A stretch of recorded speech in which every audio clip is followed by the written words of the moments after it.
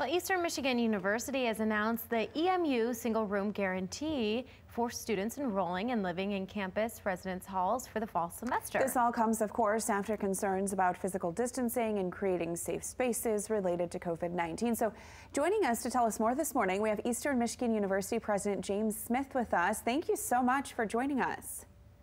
Thank you for having me. It's my pleasure to be here. So first, let's just start um, with kind of an overview about this single room guarantee, how it works, um, you know, and, and your plans moving forward. Well, several weeks ago, we had parents beginning to call, and then we had students calling and asking about single room availability. And we've had that availability for many, many years. But we realized that there was a significant upcharge to have that single room.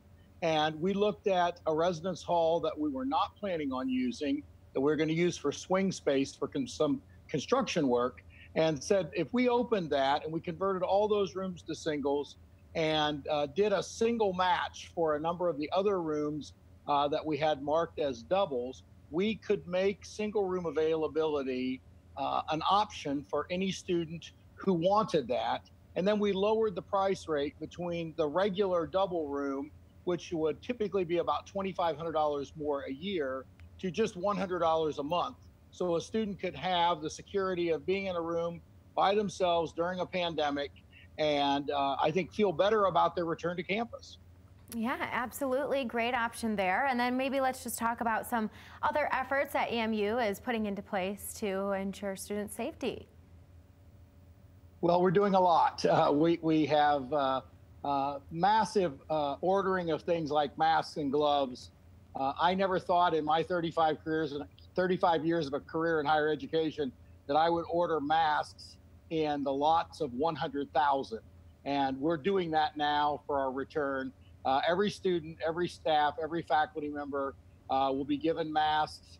we'll have some that are washable. So students, for example, might have three of those.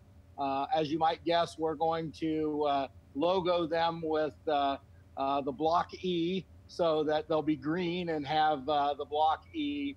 We're doing uh, sidewalk signs, we're doing door entry signs, uh, we're making some staircases up only, some staircases down only. Uh, we're putting circles on elevators to tell people where to stand. it's very comprehensive as we try to get ready for fall semester. Absolutely. You're busy over yeah. there as so many other universities are across our state. We appreciate your time this morning and uh, the work you're doing. Thank you.